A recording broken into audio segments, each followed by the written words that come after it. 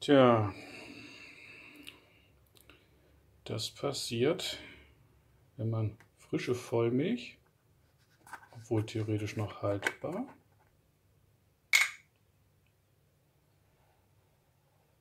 leider ungekühlt bei 36 Grad im Schatten stehen lässt.